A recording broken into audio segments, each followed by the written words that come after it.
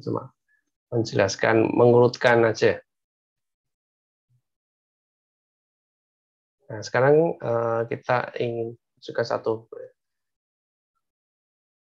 buat satu elemen list bernama list satu ya. Jadi list satu itu list dengan cuma satu elemen saja. Dan simpan ke dalam new list list 2. List 2 sama dengan list 1.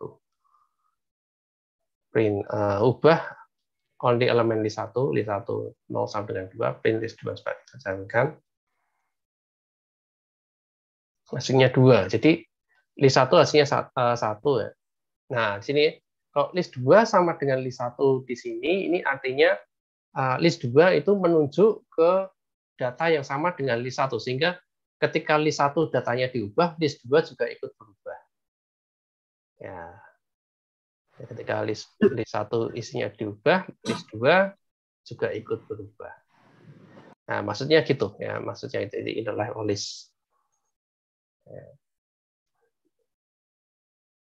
Jadi uh, ini ya, list 2 sama dengan list 1 itu meng, mengcopy nama array, tapi tidak isinya. Jadi yang dikopi adalah nama namanya ya, bukan bukan isinya. Sehingga list 1 dan list 2 itu menunjuk ke data yang sama. Ketika satu diubah, yang lainnya juga ikut berubah. Nah, jadi hati-hati ya dengan uh, list nah, kayak gini. Jadi kita tidak uh, mengcopy isinya, tetapi yang dikopi adalah namanya. Lalu bagaimana kalau kita ingin mengcopy isinya? Ya, satu-satu. Ini memotong list. Kita ingin membagi list, ya, membagi list. Misalnya, nah ini ini cara supaya tadi ya, kalau kita ingin mengcopy list, nah mengcopy list seperti ini caranya. Jadi list satu sama kayak tadi ya. Nah, sekarang kita copy isinya ya. Kalau tadi kan tanpa ini ya, cuma list 2 sama dengan list 1 gitu aja. Nah, sekarang ditambahi kolosiku titik 2 ini isinya ya. Titik 2 itu berarti dari awal hingga akhir. Ketika list 1 kita ubah nilainya, list 2 tidak berubah. List 2 tetap 1 ya. Coba kita cek outputnya. Ya, list 2 tetap 1. Ya, ketik list nah, ini mengcopy dari satu hingga tiga indeks ke satu hingga indeks ketiga indeks satu kalau dimulai dari nol ya nol satu dua tiga jadi delapan enam empat uh, sorry ya ini uh, tiganya nggak ikut jadi satu dan dua aja delapan dan enam saja ini saya sering kali keliru ini ya yang angka terakhir tidak diikutkan maka dapatnya adalah 8 dan 6 saja Ya, itu berarti mengcopy isi list ya. Mengcopy isi list. Nah, kalau pakai indeks negatif ya, berarti hitungnya dari kanan.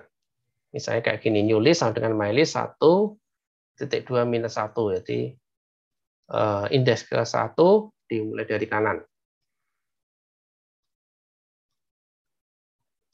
Ya, startnya itu uh, elemen pertama, n-nya itu adalah uh, indeks dari elemen pertama yang tidak masuk ke dalam set. Jadi satunya itu 8 ya.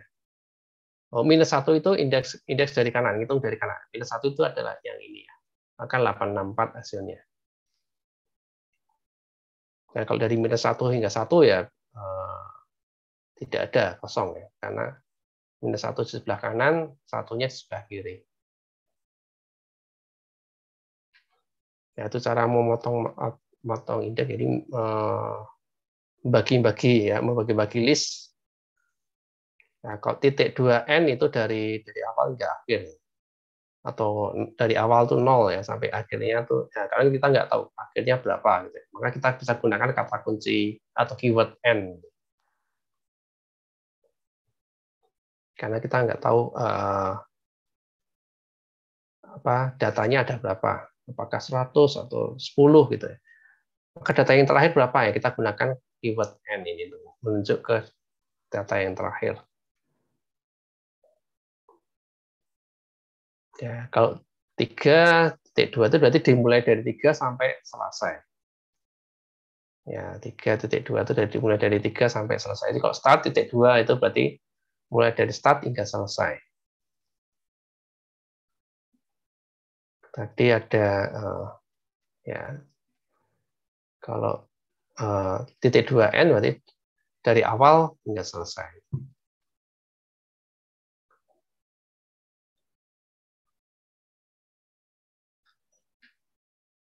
Ini di, uh, membagi list digabungkan dengan del. Del list 1 sampai 3. Jadi kita kalau tadi kan del cuma meng, uh, menghapus satu elemen. Kalau kita menghapus beberapa elemen bisa kayak gini. Uh, menghapus elemen indeks ke-1 dan indeks kedua. 8 dan 6 dihapus. Nah, maka hasilnya adalah 10, 4, 2. 10, 4, 2. Kalau menghapus semua ya kayak gini del mylist titik dua. Nah, sini adalah list kosong.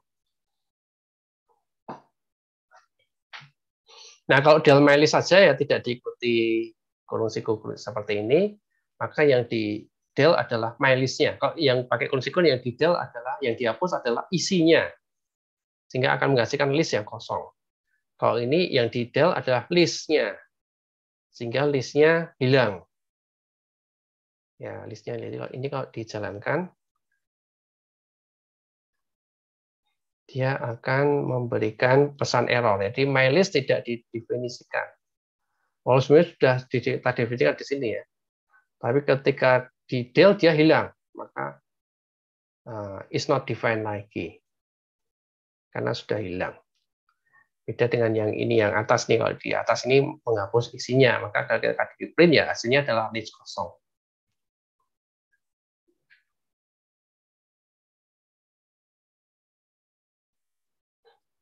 Nah, ada uji keanggotaan ya, ada in dan ada not in. 5 in my list, nah, ini apa? Nah, ya true atau false. 5 in my list berarti false. 5 not in my list true. 12 in my list true, ada 12 true ya. Uji keanggotaan.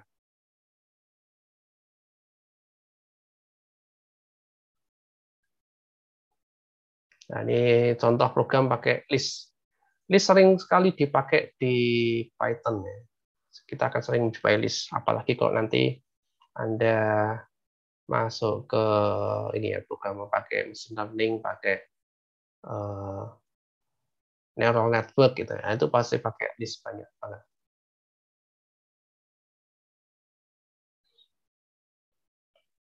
Ini juga contoh program lagi ya, ya pakai list bisa nanti bisa dipelajari sendiri, dicoba sendiri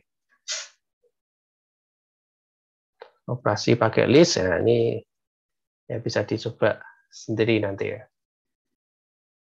Ini sudah jam 8 ini. Ya, oke, kita masuk aja ke ya ini biasanya ada